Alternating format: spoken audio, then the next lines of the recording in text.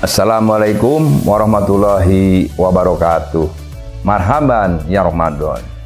Saya Haji Asep Nuroni, Sekda Subang, mengucapkan selamat datang bulan suci Ramadan 1445 Hijriah. Wargi Subang, bulan Ramadan harus kita niatkan sebagai momentum meningkatkan ketakwaan sehingga ibadah puasa kita dapat memupuk rasa syukur dan menumbuhkan rasa kasih sayang dan empati kepada sesama. Mari kita manfaatkan bulan Ramadan tahun ini dengan bersungguh-sungguh dan beribadah dan ikhlas menjalankannya. Semoga kita semua termasuk pribadi yang memperoleh kemenangan. Terima kasih. Assalamualaikum warahmatullahi wabarakatuh.